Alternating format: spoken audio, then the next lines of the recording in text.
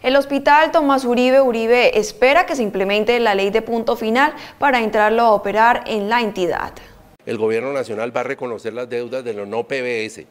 las deudas de los PBS que es lo que esperamos que se solventara, pues parece ser que no van a tener un trato eh, parecido porque dice el gobierno que son deudas de particulares entre particulares y simplemente entraría a solventar lo de lo no PBS. Lo no PBS es la deuda que tiene el Estado con las EPS por aquellos medicamentos de alto costo y, y, actividades que no están en el plano obligatorio. Bueno, de una u otra forma, si esa plata llega a las EPS y esa plata pues a su vez eh, permea a las IPS, pues nos, va a beneficiar. Por eso creo que la oferta eh, del enfoque de la, de la, de la Unión Temporal Red Valle es importante porque está diciendo que de aquí para adelante vamos a arreglar una situación económica y financiera para las IPS, vamos a lograr una situación en términos de prestación de servicios para el paciente, vamos a lograr que las EPS cumplan su cometido que es la gestión del riesgo. Entonces de ahí para adelante, pues la operación, si yo la tengo costeada, pues eso es lo que yo aspiro,